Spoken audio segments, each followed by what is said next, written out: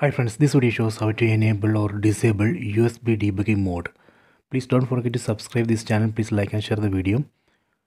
Go to settings. Select settings icon from top, top right corner.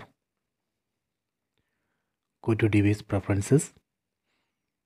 Select about. Go down. Here, here we can see build. On build, we need to press OK button on the remote 7 times. 1 2 3 4 5 6 7 you are now a developer. You can see that message. Go back.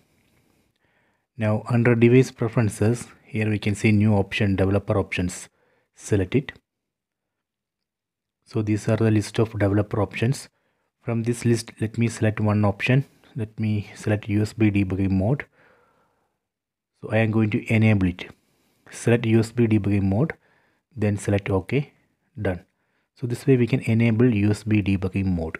If you want to disable again select usb debugging mode and disable. This way we can enable or disable usb debugging mode.